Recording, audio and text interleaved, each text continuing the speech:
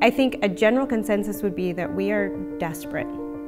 When we come to you, we're desperate and we're broken and we're tired and we've had a whole lot of people not listen to us.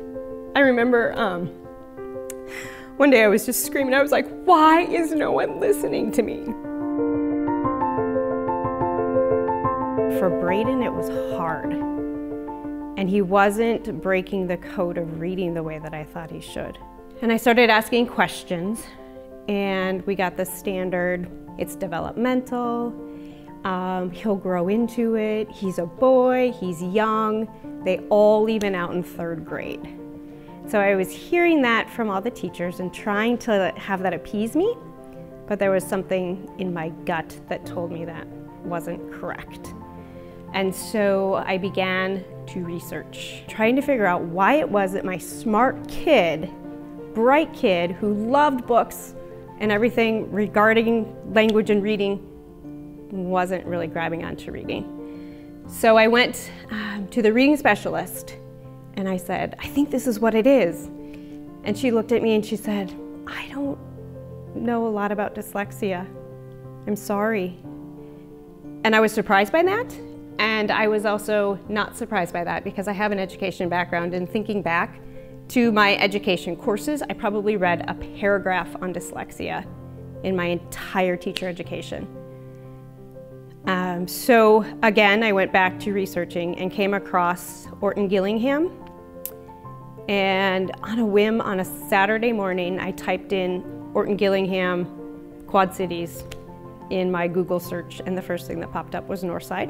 A couple hours later, I had an email back, and it was from Dana, our correspondence was the first time that anyone had listened to me, um, had told me I wasn't crazy, and honestly said, if that's what it, you think it is, and if it is, I can help you.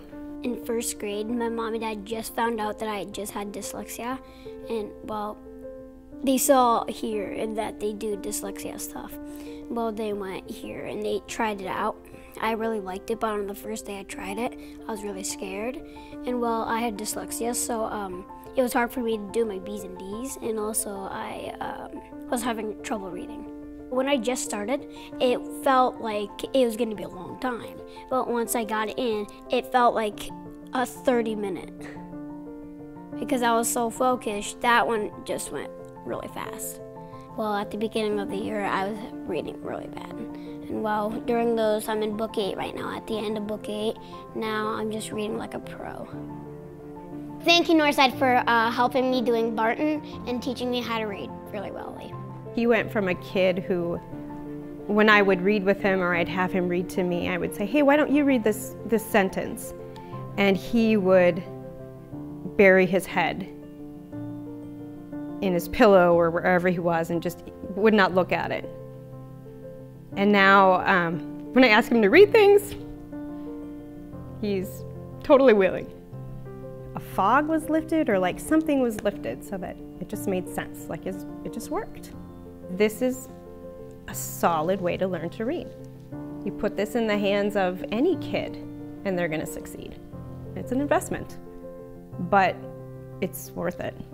I think a general consensus would be that we are desperate when we come to you, we're desperate and we're broken and we're tired.